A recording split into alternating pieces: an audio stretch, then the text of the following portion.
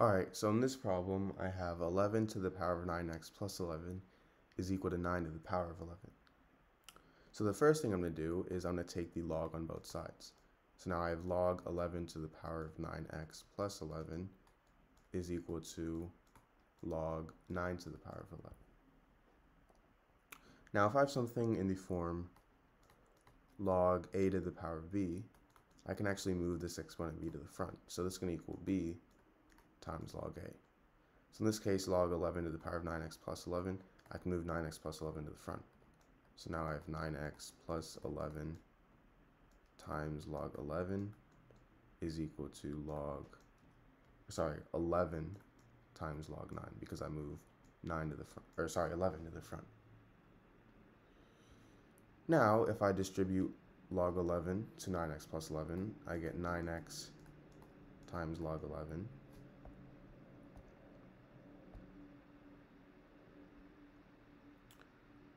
Sorry, I'm actually not going to distribute. Instead, I'm going to actually divide both sides by log 11. So these two cancel out, and I have 9x plus 11 is equal to 11 times log 8 over log 11. Now, log 8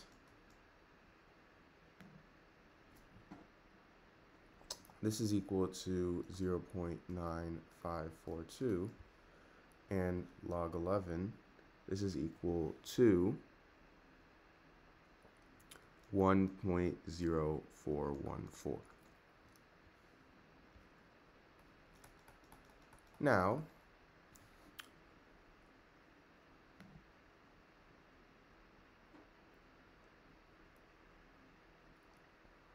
0.9542 divided by 1.0414, that's equal to 0.9163.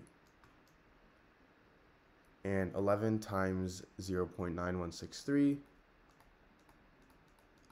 that's equal to 10.0789. So now we have a simple equation. I'm going to start by subtracting 11 on both sides and I get 9x is equal to 10.0789 minus 11, which is equal to negative 0.9211. And now if I divide both sides by 9, I get x is equal to negative 0.1023. Alright, so in this problem I have 100 to the power of x is equal to 200. So to solve this, I'm going to first start by taking the log on both sides. So now I have log 100 to the power of x is equal to log 200.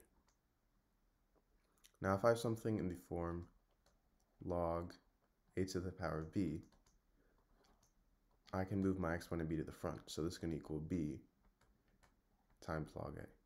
So for log 100 to the power of x, I can move x to the power of front. So now I have x times log 100 is equal to log 200.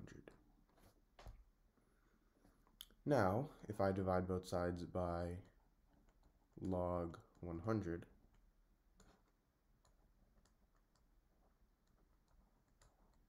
these two cancel out and I have x is equal to log 200 over log 100.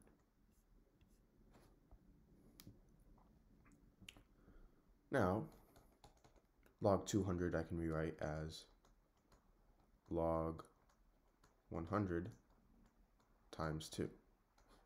Now I have this over log 100.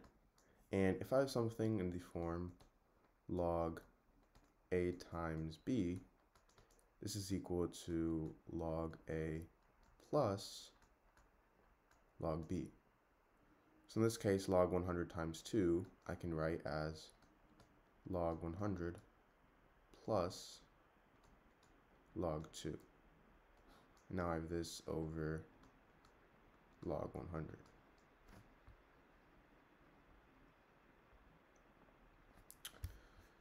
Now, this is the same thing as log 100 over log 100 plus log 2 over log 100. And log 100 and log 100, those two cancel out. So now I have x is equal to 1 plus log 2 over log 100. Now, log 100, this is the same thing as log of 10 squared. So I have 1 plus log 2 over log 10 squared. And remember, if I have something in the form log a to the power of b, I can move my exponent to the front. So now this is the same thing as 1 plus log 2 over 2 times log 10. Now, if you guys already didn't know, log 10, that's equal to 1. So now I have x is equal to 1 plus log 2 over 2 times 1, which is 2. And log 2, this is equal to 0 0.301, so I have 0 0.301 over 2. And this is equal to 1 plus 0 0.1505 which is 1.1505.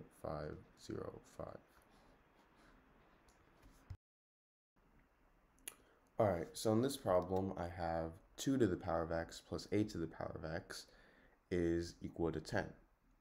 So to solve this, I'm going to first start by rewriting 8 here as 2 to the power of 3. So now I have 2 to the power of x plus 2 to the power of 3 to the power of x is equal to 10.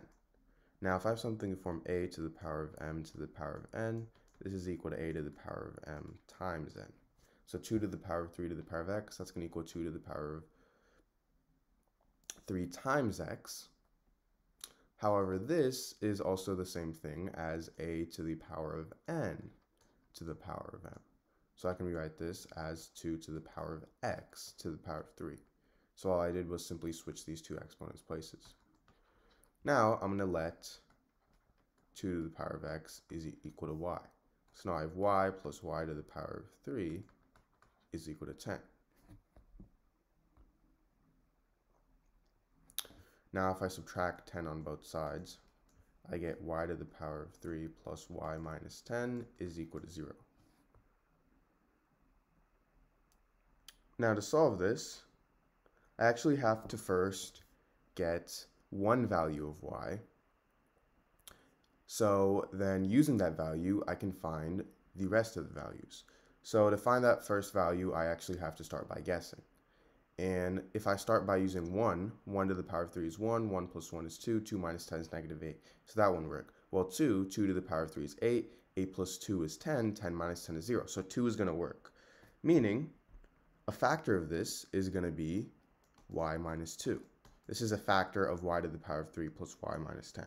So now to solve this, I actually have to divide y to the power of 3 plus y minus 10 over y minus 2.